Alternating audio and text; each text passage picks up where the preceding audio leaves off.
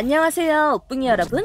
이번 스플릿2를 앞두고 협곡의 대격변이 찾아옵니다. 신챔 나피리가 드디어 소환사의 협곡에 찾아오고 신규 게임 모드 아레나도 7월 21일에 출시될 예정이죠. 패치 미리 보기를 시작하기 전에 구독과 좋아요는 영상 제작에 큰 힘이 됩니다. 첫 번째 주인공은 천번 찔린 곰 볼리베어입니다. 볼베는 이번 패치에 패시브의 AP 계수와 W 스킬의 잃은 체력 비례 데미지에 버프를 받았습니다. 아트가 버프를 받으면 좀 무서워질 텐데요. Q의 AD 계수가 증가했으며 미니언 대상 딜이 증가해 라인 클리어도 전부 다 수월해질 것 같습니다. 잭스는 E 쿨타임이 1초 증가했고 궁극기의 마나 소모량 또한 50 증가했습니다. 오늘 밤 사냥을 나선다. 렝가의 사냥에 제동이 걸리겠습니다. Q의 치확 비례 뎀이 감소합니다. 다음은 리산드라입니다. 패시브의 얼음 노예가 좀 더 똑똑해졌으며 Q 스킬은 이제 범위 내 모든 적을 둔화시킵니다. 또한 궁의 자힐량이 대폭 증가해 한타에서 더 큰 존재감을 드러낼 것으로 보입니다. AD 샤코가 버프를 받습니다. Q의 AD 계수가 증가했는데 제가 보기엔 샤코는 밴을 해야겠네요. 그냥 열받거든요. 다이애나는 W 실드 및 데미지에 버프를 받았고요. E 스킬의 계수도 소폭 증가했습니다. 쉬바나의 시대가 올 수도 있겠습니다. Q 스킬은 AD 계수 증가, 추가 공속이라는 어마어마한 버프를 받았고요.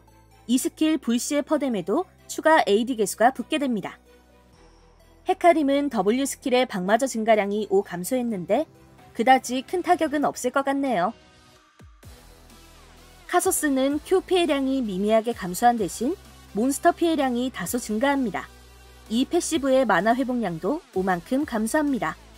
킨드레드는 스펙이 다소 좋아졌습니다. 기본 체력과 방어력이 증가한 대신 Q의 쿨과 피해량에 너프를 받았네요. 렉사이는 E 피해량이 조정됩니다. 변경 후 게임 초반에는 E의 피해량이 크게 줄어들지만 후반에는 더욱 강해졌습니다. 미드 자이라를 다시 볼 수 있을까요?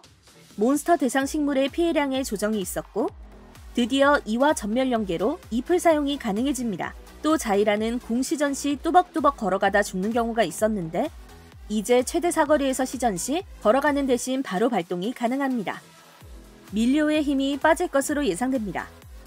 패시브 피해량은 그렇다 치고 이속은 좀 너무하긴 했죠. 렐이 다소 물렁해집니다. 기본 방어력과 적의 방마저 흡수량이 최대 15%에서 10%로 감소합니다. 이제 제라스는 서폿이 아닌 미드에서 더 자주 보일 것 같습니다. 적을 처치하면 2초씩 쿨이 감소하고 타워에도 적용이 됩니다. 그리고 궁 시전 가능 횟수가 증가했으며 이제 적을 맞추면 이후 궁딜이 증가합니다.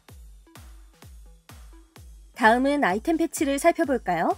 먼저 스태틱의 미니언 추가 피해량 감소, 돌풍 쿨이 30초 증가, 란두인 치피 감소 증가, 스테락 가격 및 체력 증가, 정령의 형상 마저 증가, 자발 물리관통 증가, 쇼진 가격 하락 및 체력 증가, 트포 AD 증가량의 조정, 무대는 치피 증가 및 AD 감소, 원형낫은 궁쿨 감소량이 이제 물리관통에 비례해 올라갑니다. 이 외에 유체와의 지속시간이 증가하는 대신 더 이상 적을 처치해도 지속시간이 늘어나지 않습니다. 마지막으로 나피리는 7월 19일 수요일 본섭 출시 예정이며 아레나 모드는 7월 21일 금요일에 출시됩니다. 자세한 내용은 우측 상단의 영상을 참고해 주시고 꼭 아레나 모드도 옵지와 함께하는 거 잊지 마세요. 그럼 오늘의 피치 내용은 여기까지고요. 다음 시간에 만나요. 안녕!